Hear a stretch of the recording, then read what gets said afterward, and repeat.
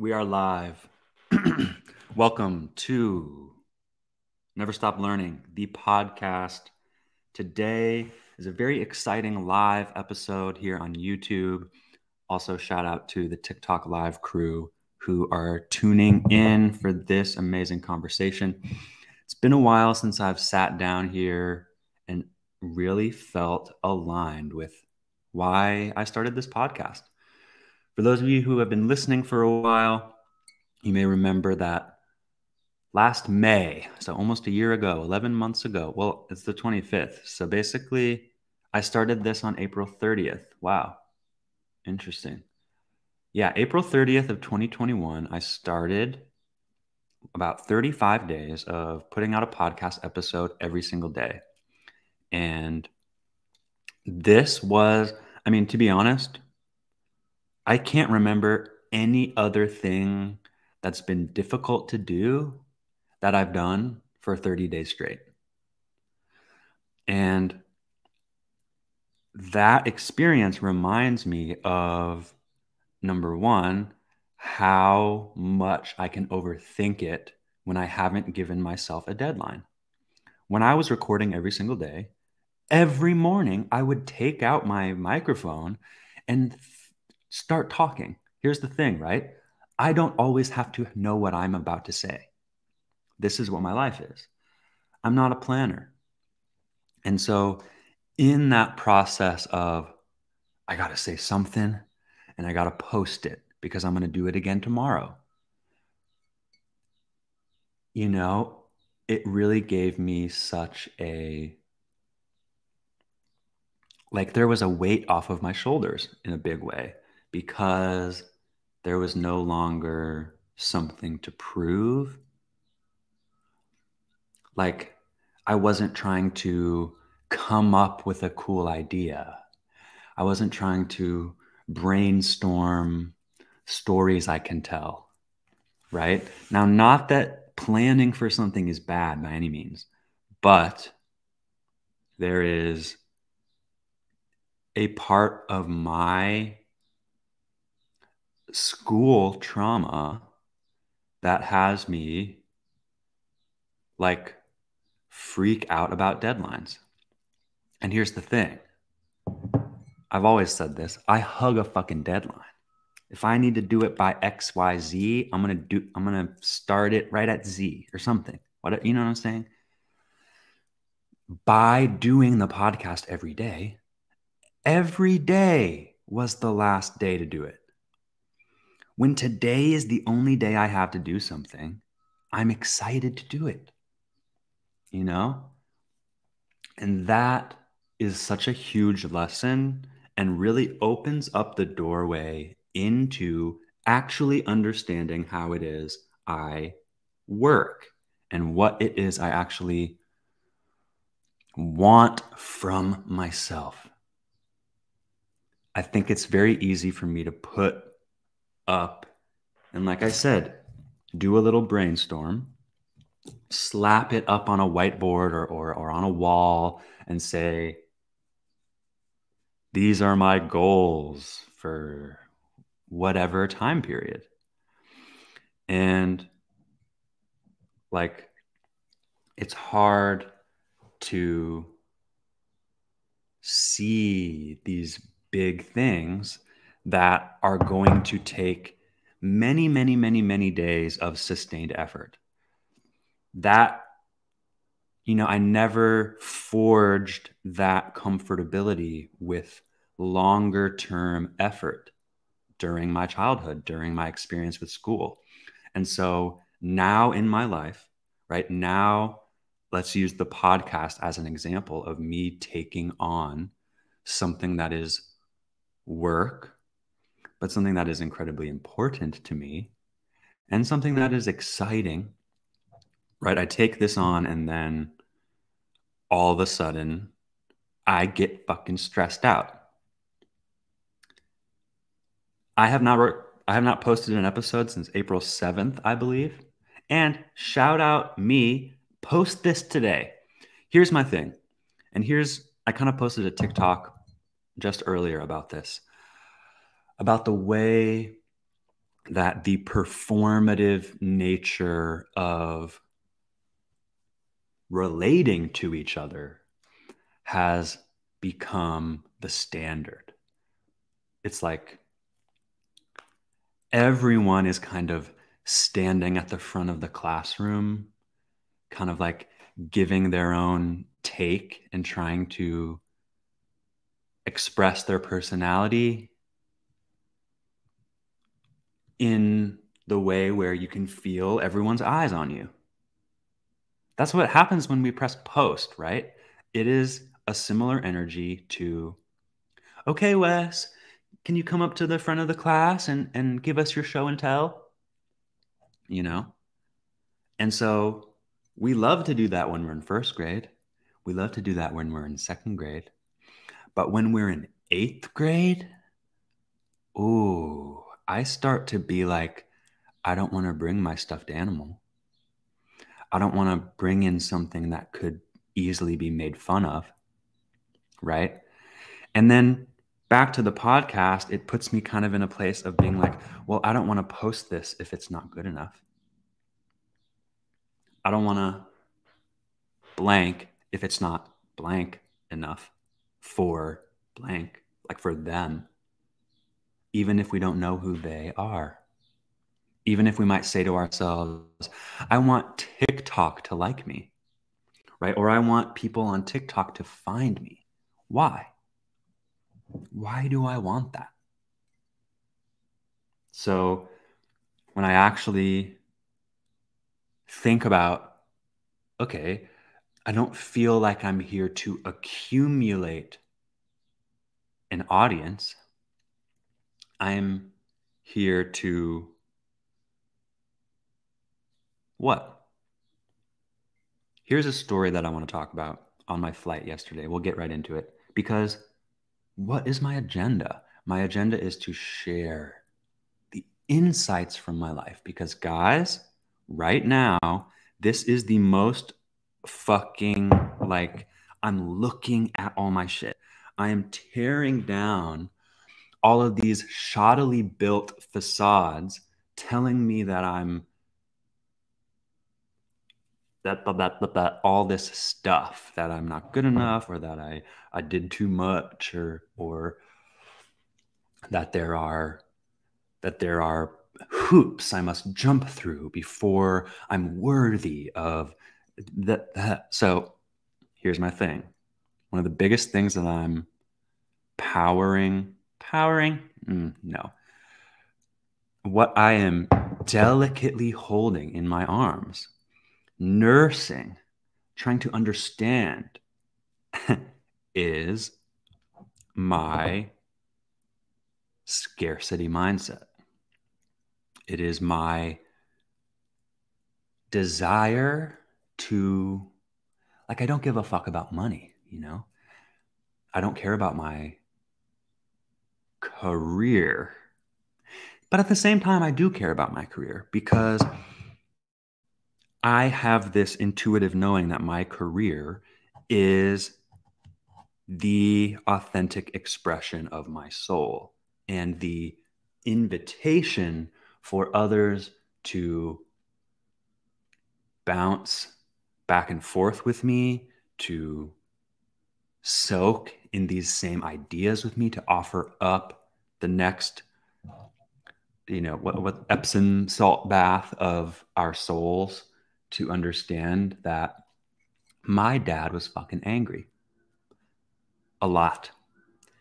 And I never even thought about it as something notable until years and years and years after I left the home.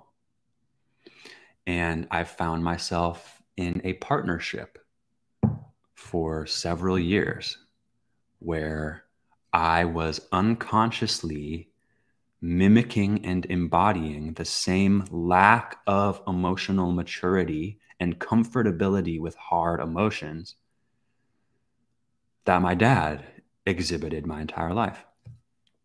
And, you know, it's like, I don't want to sit here on the podcast and talk about my father trauma because I want all the people with father trauma to follow me and, and like my videos. I want you, Kels, to be in this room with me so that I am in flow of drawing out these stories from me and of wrapping my figure it out word salad around these experiences that I can shed all sorts of light through my memories and through my understanding of what I now see that I did not see at the time. That is incredibly hard to do. And I have just recently opened up this very like an open wound of of exposed nerves and of pain and of frustration and of wanting to resist my past because I don't like it. And I don't like that I feel it in my bones a lot of the time. I don't like that I feel out of control sometimes in the way that I respond to things, react. Being able to pinpoint moments where I truly didn't feel safe in my home or to express something real, I see exactly why I did what I did. I see exactly why I hid the stuff that I didn't even know what it was, that I was afraid to look at in my own thing. And if I'm afraid to look at it, well, then my girlfriend will hate it. It's my dad energy. If I'm afraid to look at it, if I'm ashamed of it, well, then how could my woman ever love me through it? or some shit like that, you know? And uh, thank you. Ember always says a positive mind finds opportunity in everything. Totally. So here's my story. I was on a flight yesterday and I'm in the window seat. The two people are already there. I have to, you know, they get out, I get in. They're talking it up. They're like chatting it up as I'm walking towards the seat.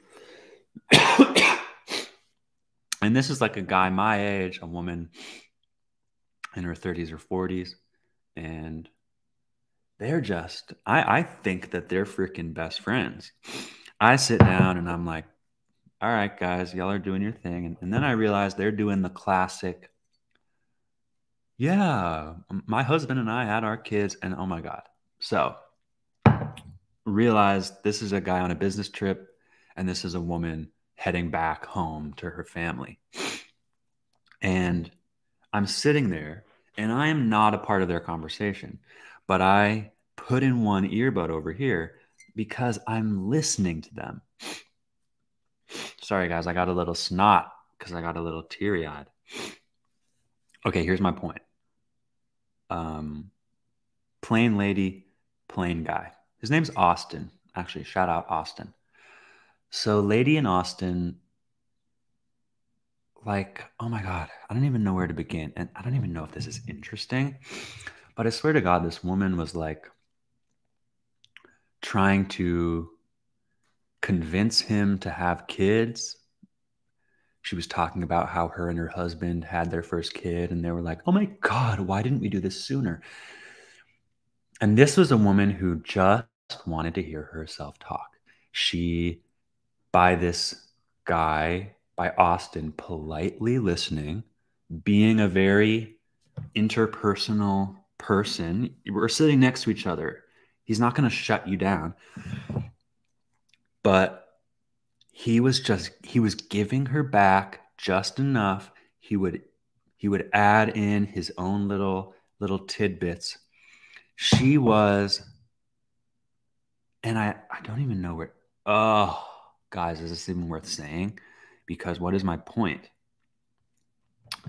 My point is that it felt like a betrayal of the we broke we both bring a little bit of small talk to each other. And it felt like she was literally holding him hostage giving him every anecdote. Uh, when i was in high school i went crazy but my dad would have kicked me out. So i was always the the designated driver. Well my kids never did that I can't believe how these student loans. Well, if we saved up our money, well, my kids should never move to Seattle. It's so, it's so far. Well, but they could go to grad school out there. But please, come on, don't move. Like,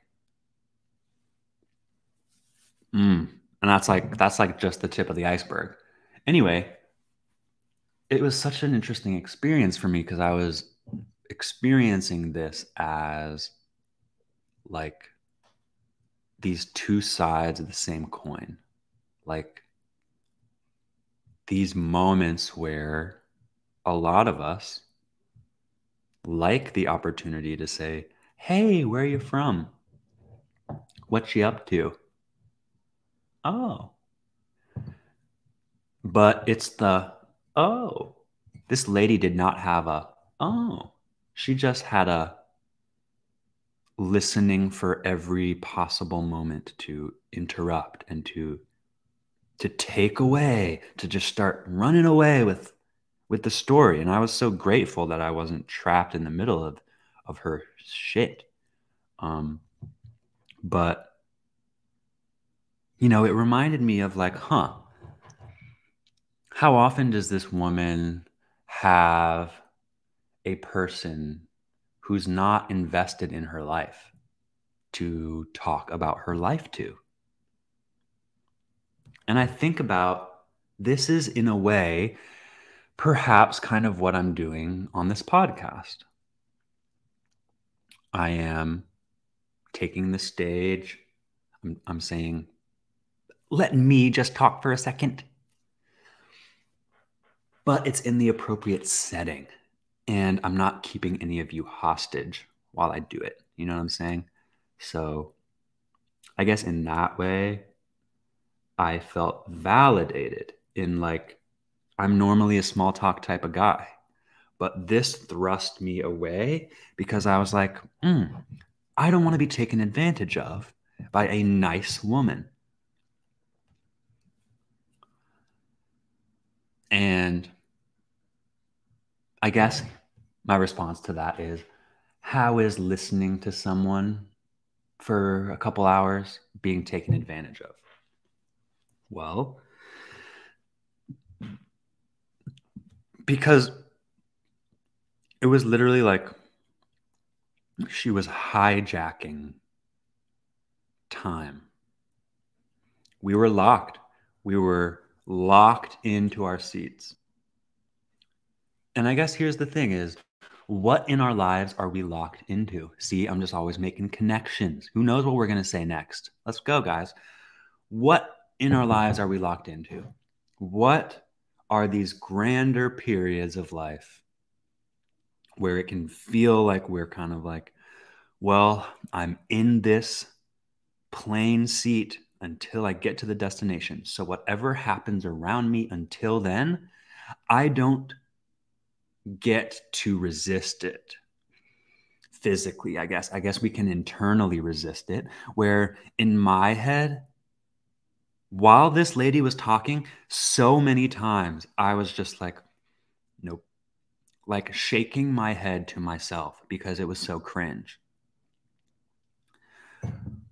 Where do i feel like i'm stuck and where is a place where someone else could take advantage of me?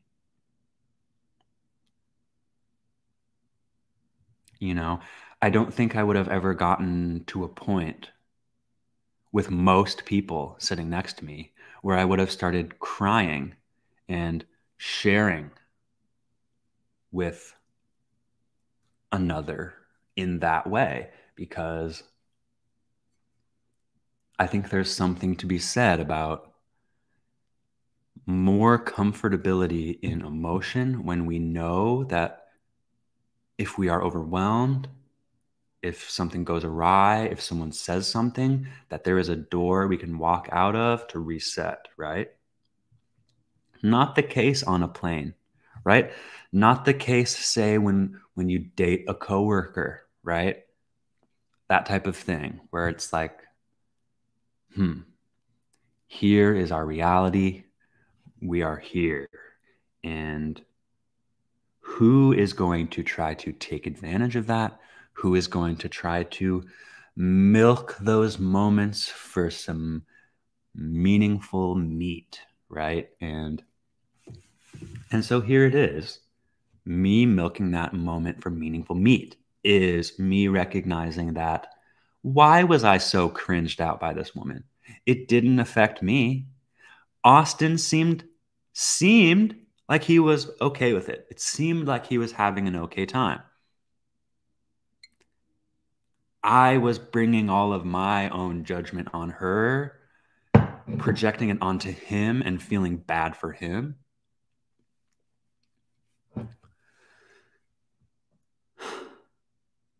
we bring our own shit to everywhere we go. And so I guess all this to say, I'm glad that happened because in a way it was kind of a push for me to be reminded of, oh yeah, there is value in sharing all these stories of my life. And there is also a time and a place right? There are certain relationships, there are certain stories that I tell to my mother, and certain stories that I don't. What's a story, bro? What's a story, bro? Should we go to story time? For those of you watching on YouTube, let's head over here. Thank you for being my community. And let's talk about what was I about to write? The fuck was I just gonna say? Story time? Story time. All right, guys, this has been a long time coming. Uh, story time. Okay. Hey, hello, it's story time. Story time. Story time. Hey, hello. Oh, it's story time. All right.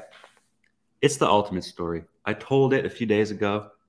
Story of my fly tattoo, my dudes. This has been a long time coming. And thank you for sticking it out into the deep realm of this episode. We're 23 minutes in, and we're about to go 23 minutes more, my dudes. All right. So, let me set the stage for y'all about these flies, Josh. All right. So here I am, my sophomore year of high school. my sophomore year of high school. I am doing my homework, my pre AP biology.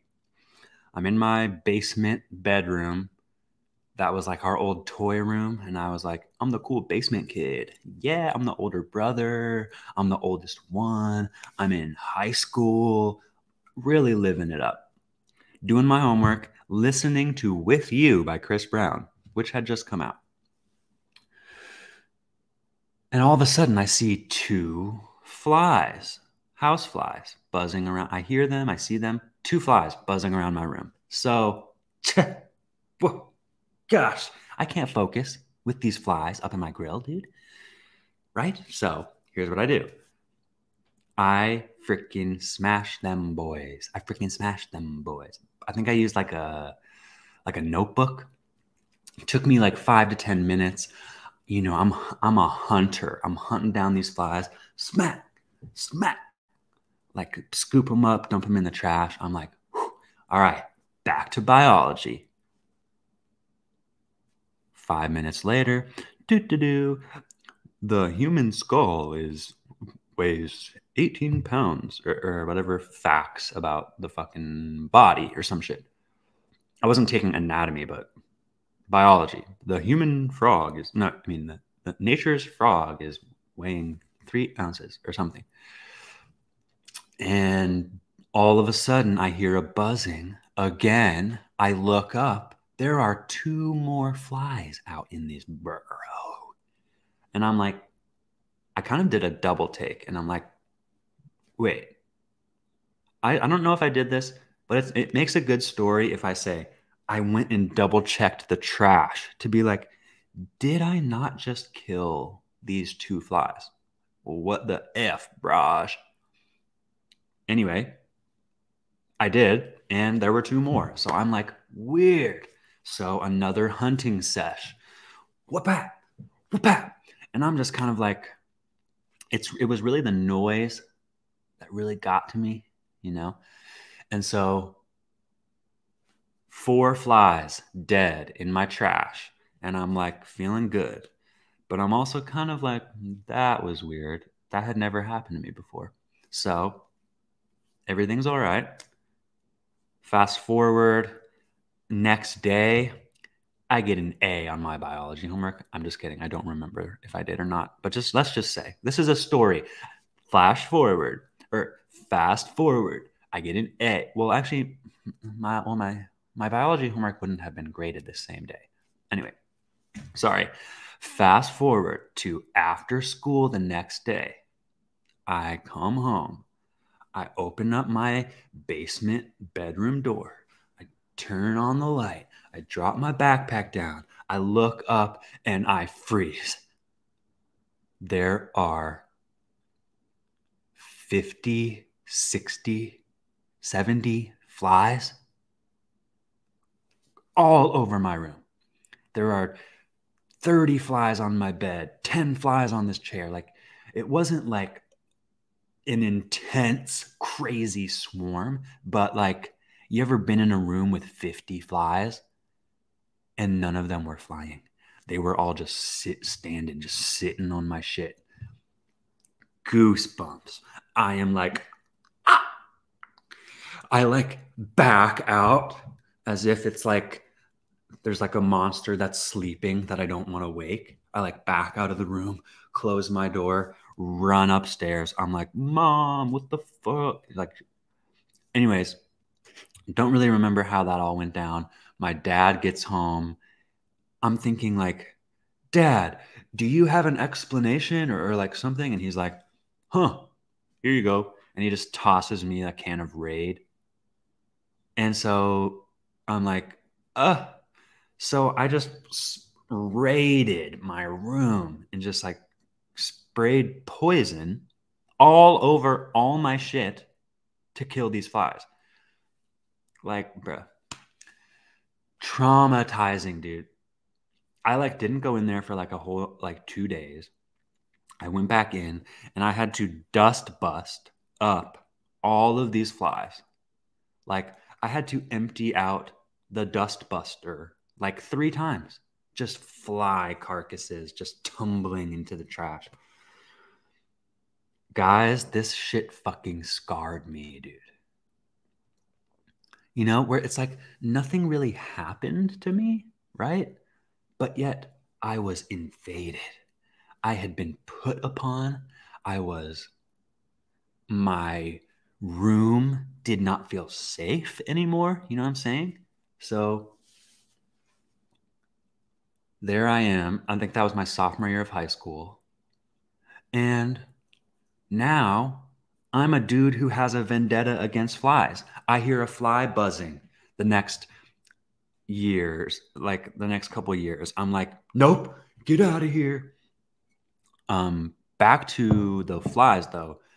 After I killed them all, one day soon after, I opened up my closet and I see this like what I basically think was a maggot nest that was hanging from the rafters of like the basement ceiling.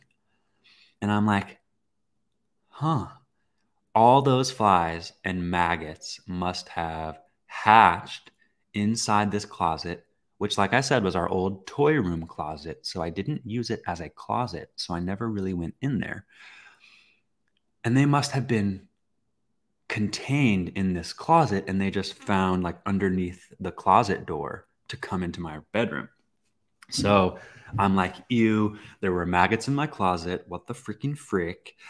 Oh, uh, uh, flies, ew, gross, a fly. Ew, get out of here. I'm like, I love having a fly swatter. Like, we had fly swatters in our house the next couple years, and I just, I loved to have it. I was like, I became fly averse. I became a loon, a fanatic about like killing flies if they were like in our our environment. At the at the barbecue, I'd be like, "Get out of here!" Like,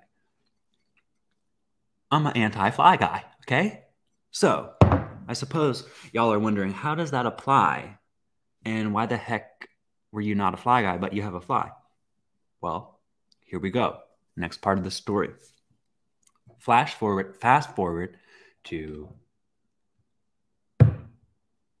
my junior year of college. So, summer before my junior year. So, this is like 2013. And I had just failed every class of my previous semester of college. I'm in a dark place in 2013. I hadn't told a soul except my roommate, who basically found out I was failing because he noticed that I was never leaving our dorm. And I was never going to class, you know? But here I am with a, a handful of F's to show for the past six months and I am freaking the fuck out. I do not know what the fuck I'm about to do. I'm afraid to tell my family. I'm afraid that my friends are going to judge me. I'm ashamed that I let it get this bad. I'm ashamed that I didn't show up to my final exams. I didn't turn in the papers. I stopped going to class.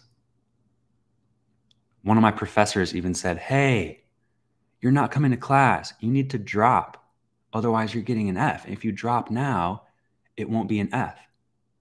And I was so ashamed that she confronted me, that it drove me deeper into the I'm not going to do a single thing except sit here, play video games, eat food, and smoke weed until the semester ends and we all have to leave. That's one of the darkest moments of my life. I, I I really was so afraid to look at what I was doing because I knew it was wrong. But it's almost as if what I knew more was that other people were going to tell me it was wrong. Other people were going to say, Hey, why the fuck did you do this? That was my biggest fear. So I thought, and that even came into play with how the semester ended when I stopped showing up to classes I didn't want to be confronted by anyone. I didn't want my professor to have the opportunity to say, Hey, Wes, where's that paper? Hey, Wes, where's your homework? Because I didn't do my homework, I didn't do the paper. So here I am, back at home, pile of F's in my pocket, no idea what my future looks like. I'm living at home again for the summer, free rent, but my little sisters are still there, so I'm kind of back into the family mode. One weekend, the whole fam is traveling a few hours away for a day or two for one of my sister's performances. I told them I had to work. I did not have to work. They leave.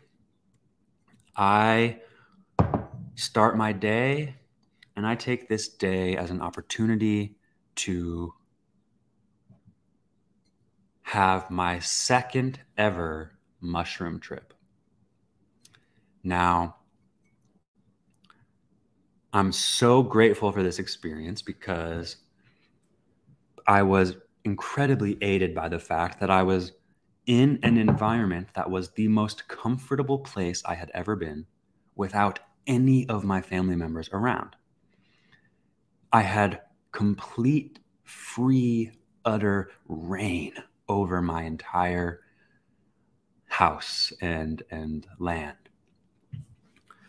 And my previous mushroom experience had been with a friend at my house, and it had gone a little wonky. It had gone a little wonky. Him and I didn't really connect on the mushroom level. So, based on that experience, after understanding a little bit more what to expect, I take this opportunity almost as a I'm trying to get fucked up. I don't know what I'm, I'm trying to forget about my problems. I'm trying to forget that I just failed low key because I have not yet truly convened with the mushrooms ever until today. Here I am, an hour or two in. I'm in my backyard on a beautiful June summer day in Iowa sitting underneath our oak tree, feeling in touch with all the nature. All of a sudden, dun dun dun, two motherfucking flies run up on me, boy. One fly lands right here. One fly lands right here. Immediately, I am now four years deep on being the anti fly guy. So here I am in a mushroom state, really feeling it, and all of a sudden, bzz, and I'm like,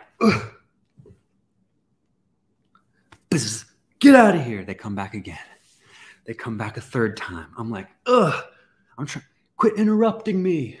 And then all of a sudden, they come back. And that's when I realized these dudes are chilling here on this same spot again and again. The fuck is this about? Hmm.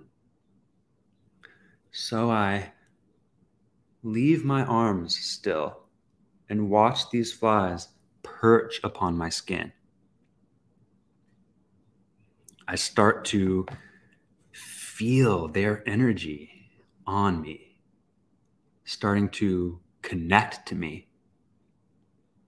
And that's when I start to hear them truly trying to communicate with me. The first thing that I heard from them was, Hey, Wes, we're sorry about that whole being in your room in high school. We're sorry. And I'm like, whoa, they're sorry. And that's when I hear them go,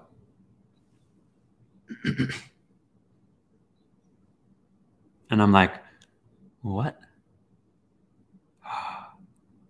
They were waiting for me to apologize as well. I had never thought of myself as being a perpetrator of violence in this scenario.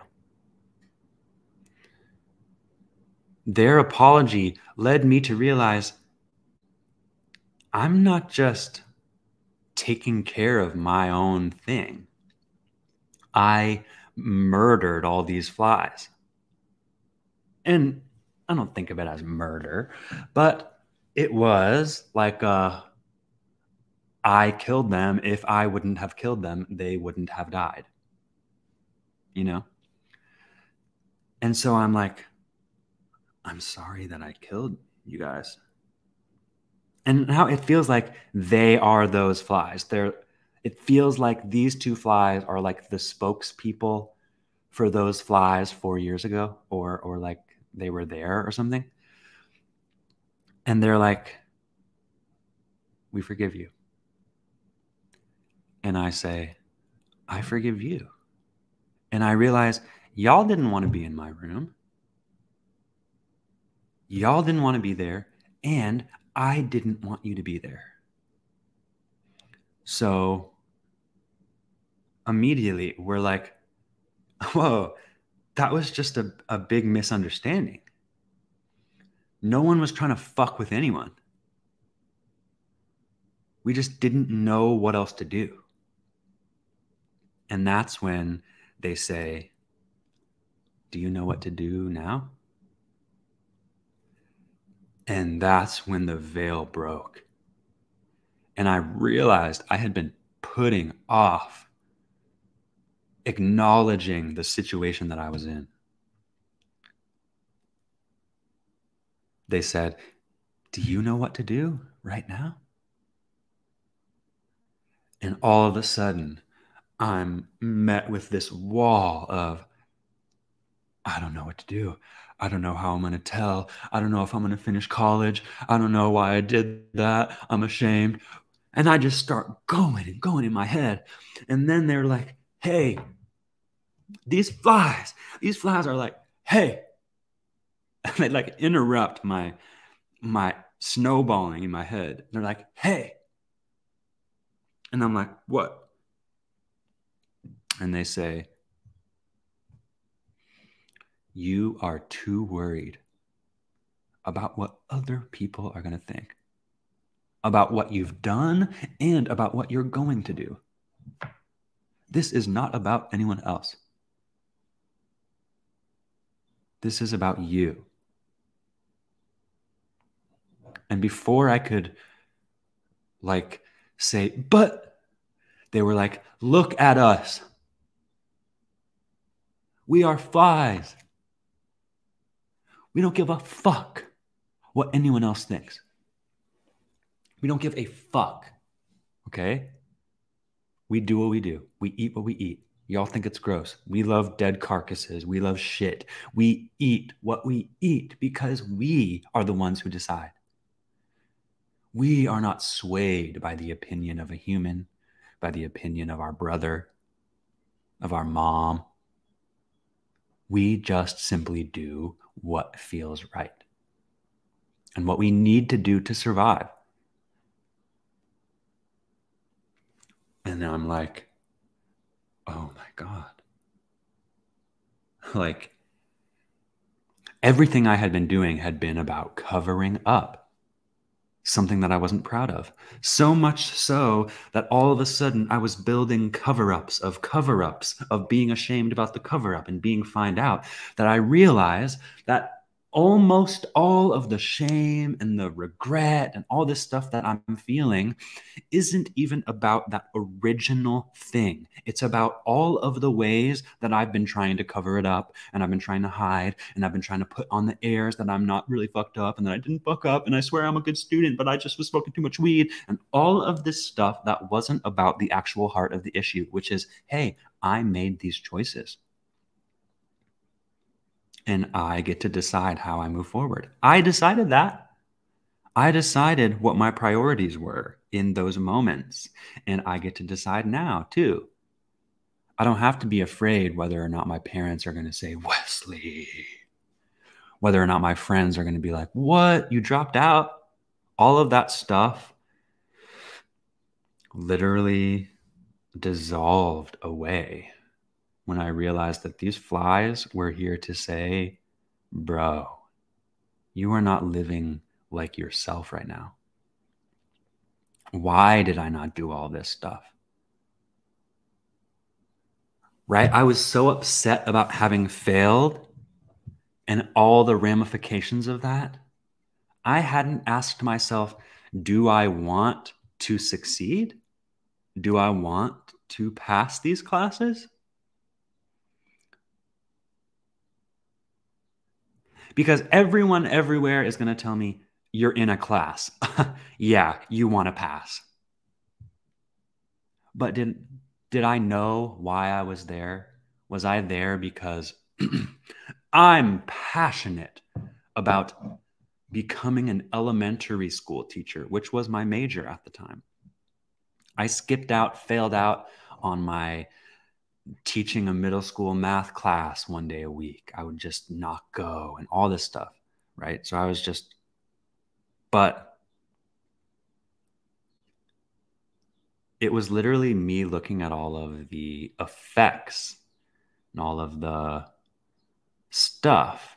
And these flies gave me the opportunity to, to say, I don't have to go back if I don't want to.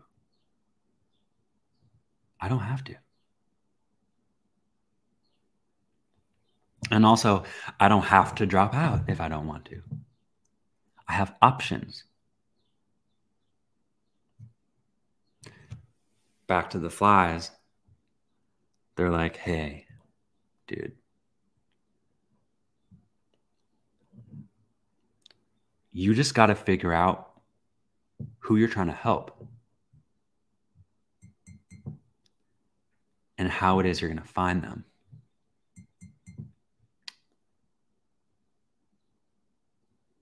They found me.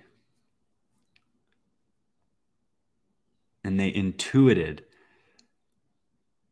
that they are what I needed in that moment the flies. And it made me think about all the people that may need me. Who will not fall in line with the same type of negativity that I spray at myself all the time.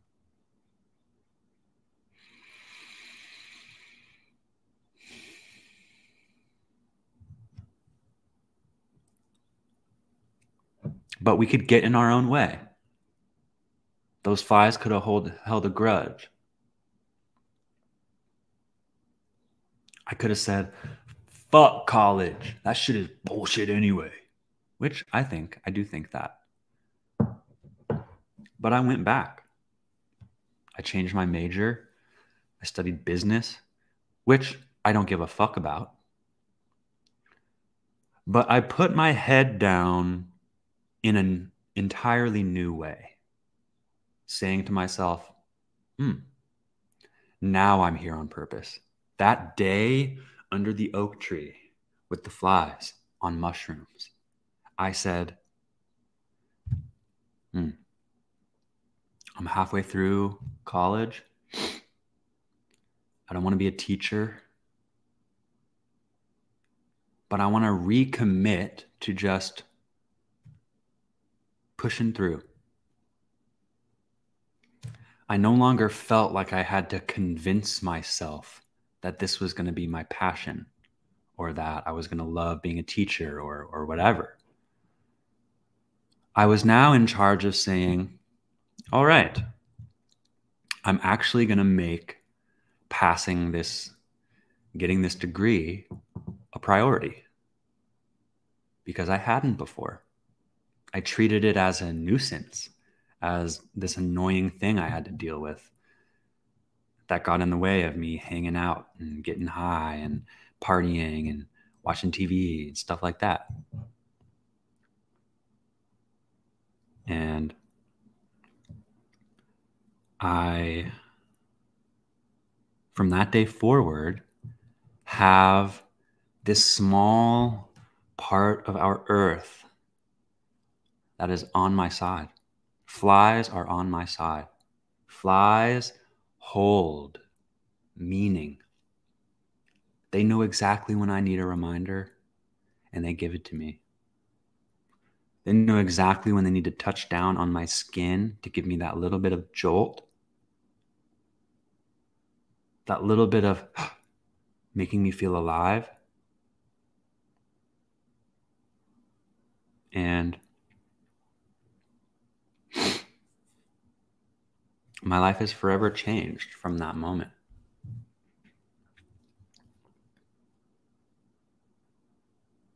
Flies are a part of my life.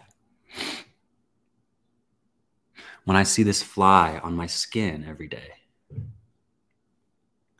I am reminding myself that I do life for me. I do what I want to do. I am not here to uphold an image. I'm not oh, here to be an image.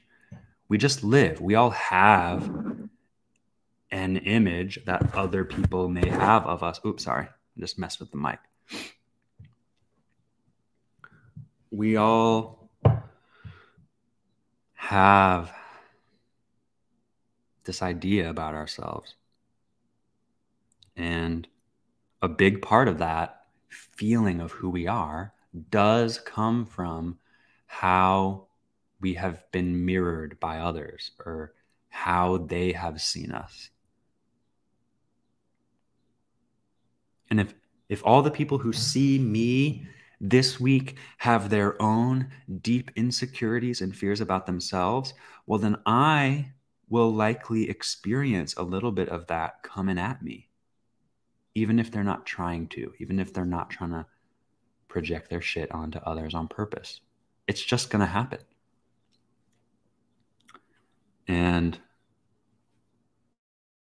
remembering that I am not separate from this earth. All these moving parts are here for me if I choose. I had to consciously make the choice to, for the fourth time, not fling these flies away from me because I felt bothered. Why did this experience happen? This experience would not have happened to me if I did not already have fly trauma. That trauma, low key, but it, I really felt it. I really hated flies for years. I really felt like a, a, a bad deed had been done to me by the flies, truly. Without that negative connotation for them, it would not have been meaningful to me that flies were present in the backyard on that day.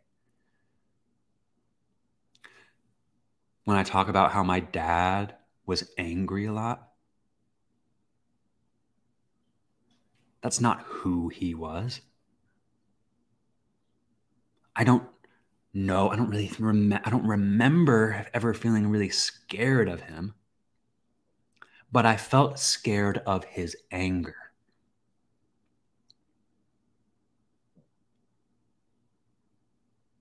It felt like it was something that just had to explode.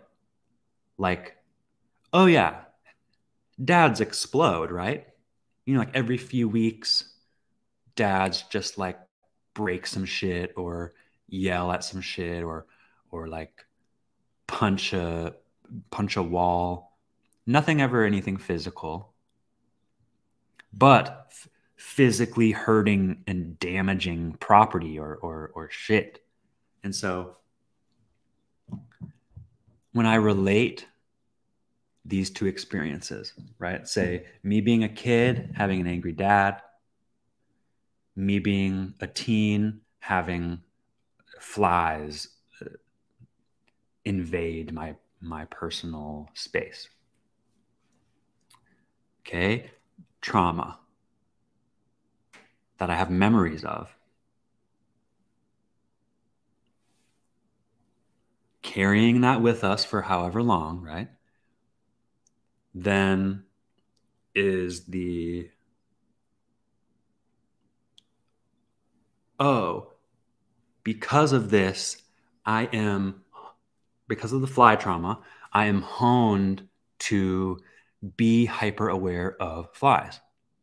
Because of that hyper awareness of flies, I am tuned into, hey, they're landing on me. Because I'm tuned into that, I'm open to accepting something. And it was because of the mushrooms that I believe I wasn't totally resistant. Now, father being angry. Now, here seeing myself get really angry. Seeing myself in a heated moment be like, and like when we start to go like this, what do we want to do? We have built up tension, and then I want to fucking punch some shit. Because that seems normal. I observed that as the way anger is expressed. Punch some shit, go fume about it. We don't talk about it. We don't address what the trigger was for the anger that has arisen.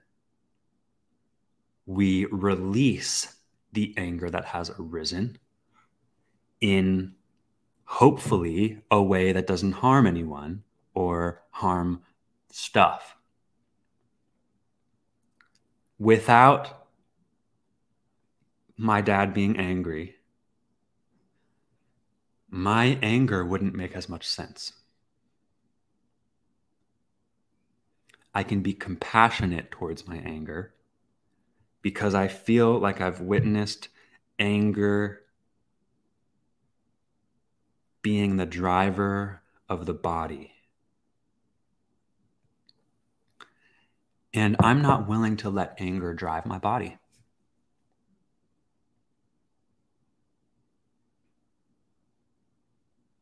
And I don't know if I ever would have thought of it like that without the visual image of my father's energy being expressed through outbursts of rage.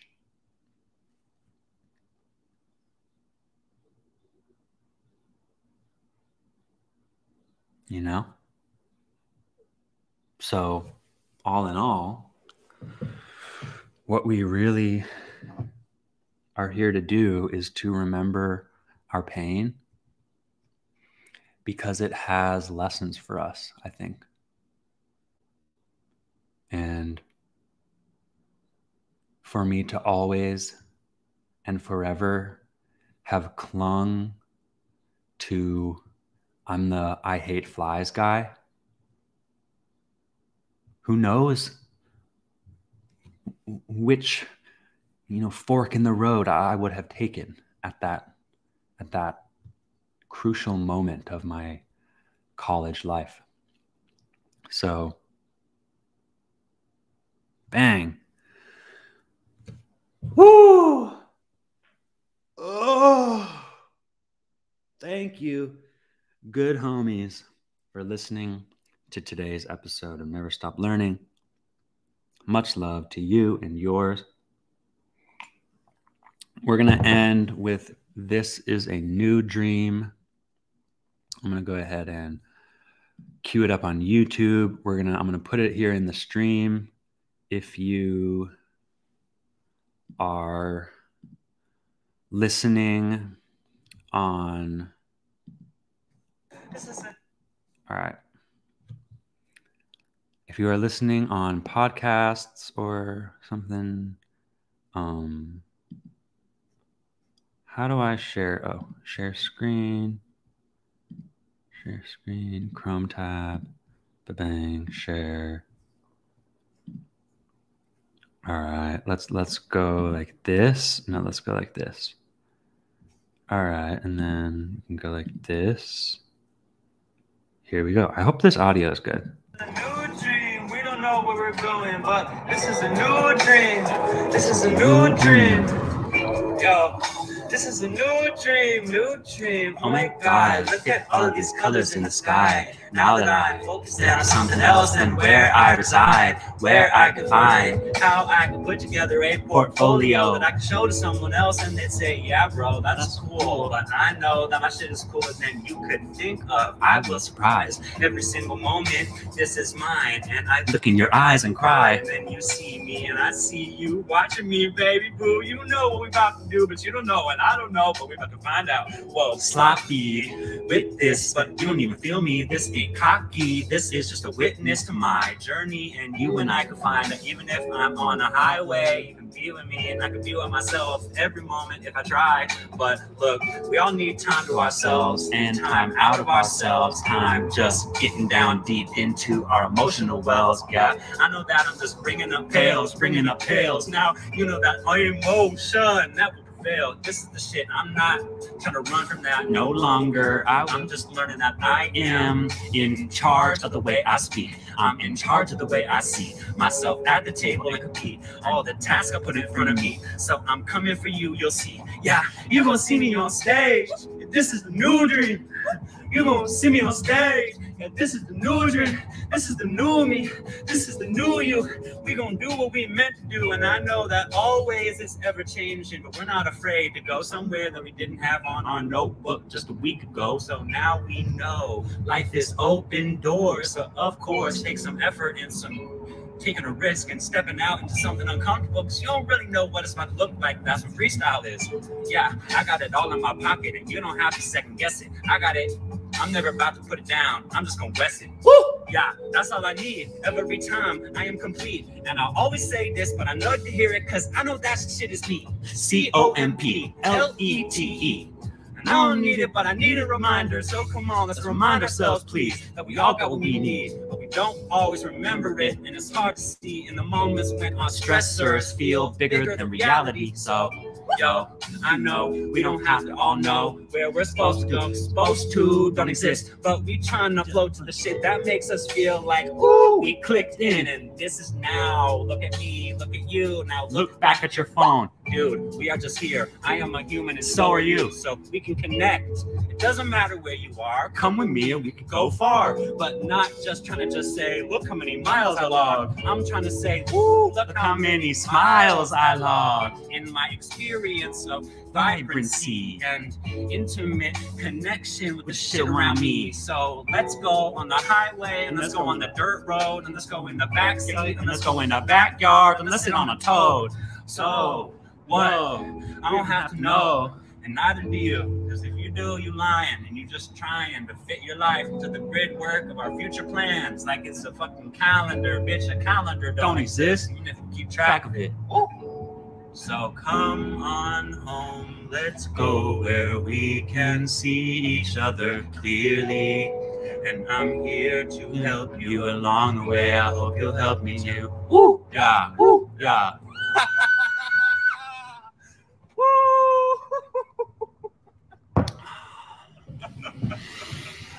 Oh my god. All right, my guys. Thank you for listening. That is one of my favorite freestyles. This is the new dream. I'm building my dream life. I'm talking the shit I want to talk about. I'm not explaining myself to anyone because I know that I am in charge and I am dope and I'm building the life I want and I'm living in abundance and it's all going to happen. My shit is nice, dude.